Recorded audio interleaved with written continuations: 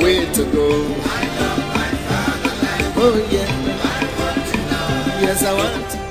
INEC disappoint to came confusion. Hit it, baby. Um, this is what I'm, I'm, I'm beginning to wonder why Nigerians, why it's taking Nigerians long to release this song. I mean, we are that creative. We are. Never mind, we are here to do the talk again. And the brouhaha concerning the 2019 general election when it comes to the postponing of the 2019 general election. Mhm, Like, you know, a lot of drama went down from corps members having to sleep under harsh weather conditions to the statement released by INEC, which, by the way, someone said there was no atom of apology.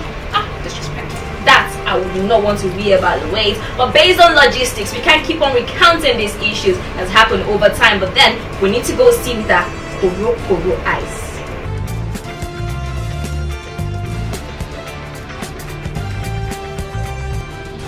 Following a careful review of the implementation of its logistics and operational plan and the determination to conduct free, fair and credible elections, the Commission came to the conclusion that proceeding with the election as scheduled is no longer feasible. This will afford the Commission the opportunity to address identified challenges in order to maintain the quality of our elections.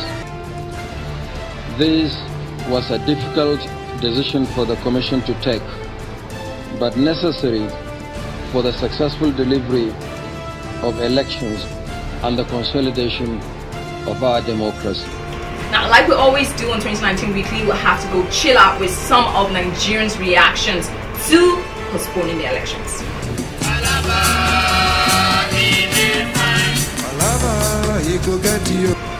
At Miss Judith says, INEC postpones election after four years of planning. My Nigeria will always be Nigeria. It's just pathetic. Well, my sister, this is the best song for us right now. And at Salio B. De Silva tweeted, INEC, you always have four years to prepare for corpers being used for elections. All the money gotten for elections, why can't you provide suitable accommodation for a night? Why do you treat graduates like this? Is it a crime to serve Nigeria? Bro, it's like he hasn't heard the, the NYSC anthem. Hmm, maybe that is just what it is.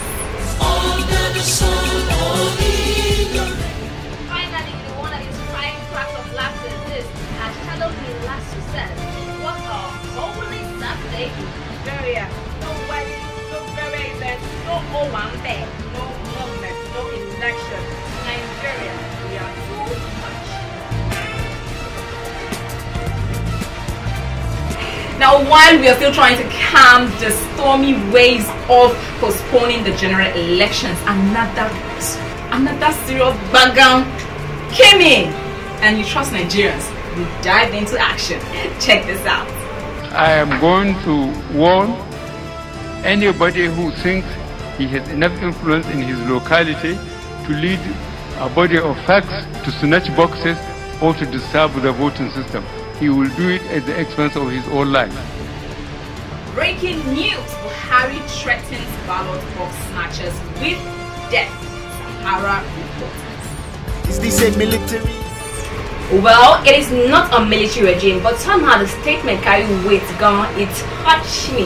However, I feel Mr. President is trying to instill fear in hoodlums, thugs, perpetrators, name it, everything that you can imagine. Actually, for anybody who is trying to, you know, rig the, the general elections or even snatch ballot boxes, it is time for you to have a rethink because our president is out for you. But like you said, statement Mm. was really heavy. Really heavy. But then again, Nigerians should understand that our president might just have our best interest. What I actually don't understand is the series of comments that have been coming out over time during the whole election saga. First it was Madam Mm. Mrs. Um, El-Rufai. later it was Kogi um, governor, now it is our president. We should watch out what we We say. heard things, a lot of things during this campaign. and that is what we can say. In our next episode, we will take it to the street to ask people what they think about Presido's statement as well as corps members' welfare and again the action uh, that resulted into postponing the general election. Yep, we're all here for some rich information on 2019 weekly, so keep it locked. No matter where you come from, we're part of a great nation, uh, so everyone sing with me, yeah.